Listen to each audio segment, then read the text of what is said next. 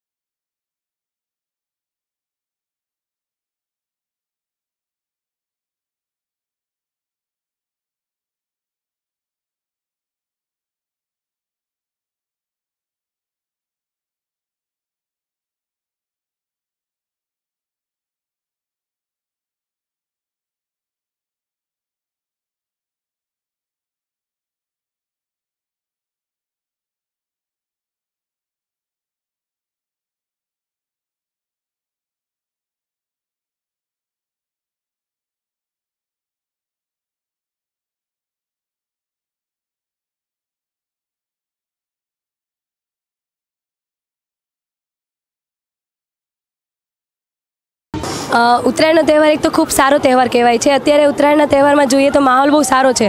But ત્રણ વર્ષથી જોઈએ છે તો ઉત્તરાયણમાં પવન ખૂબ ઓછો હોય છે. પણ આજે સવારે પવન ઓછો હતો, બટ અત્યારે બપોર પછી જોઈએ તો પવનનો માહોલ બી સારો છે. જેનાથી બધા બધા પોતાની મજા તો માણી શકે છે. પણ એક વસ્તુ યાદ રાખવી કે મજા માણવાથી અત્યારે પોતાના માટે મજા તો માણી શકીએ છીએ. બટ એનો એક વસ્તુ યાદ રાખવી કે એના કારણે પશુ પક્ષીનું ધ્યાન રાખવું.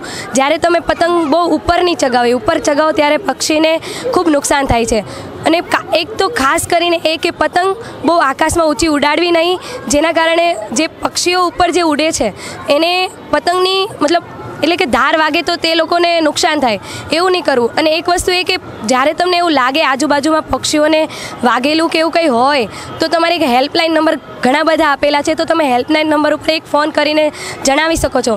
જેથી એક તો કે પક્ષીનો જીવ બચશે અને આપણને એક ખુશી મળશે કે નહીં, મેં એક સારું કામ કર્યું છે. એ રીતે બી આપણે હેલ્પ કરી શકીએ છીએ. બીજું જોઈએ કે આજે બધા પોતાનો એક શોખ બની ગયો છે પતરાયણ ઉત્તરાયણમાં પતંગ ચગાવવાનો.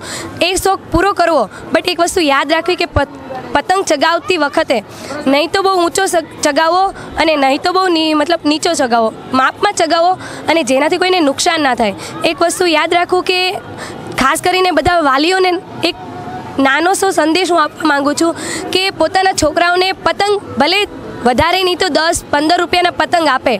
જેનાથી છોકરાઓને લાલચ ના રહે પતંગ પકડવાની. જો અત્યારે છોકરાઓ પતંગ પકડવા માટે રોડ ઉપર કાં તો પતરા ઉપર વગેરે ઉપર ચડે છે, જેનાથી અકસ્માતો બહુ બધા બને છે. તો એક વસ્તુ યાદ રાખવી કે પોતાના વાલીએ બી એ વિચારીને રાખવું કે મારા છોકરા કોઈ પતંગ પાછળ ના દોડે, એના માટે એ લોકોને પતંગ, મતલબ પતંગ અપાવડાવવા જોઈએ એમ. ત્રણ વર્ષથી તો પવન જરીક ઓછો પડે છે, ઓછો લાગે છે. પતંગ ઓછી શક્તિથી પણ આ જરીક અગિયાર વાગ્યા પછીનો પવન સારો છે. અમારો આખું સારું, સારા પરિવાર અમે સાથે ધાબા ઉપર પતંગ ચકાવી છીએ. ને બીજું કે આમાં કાંઈ બહુ લાગતું નથી વણ મંદી જેખું છે એની હિસાબે.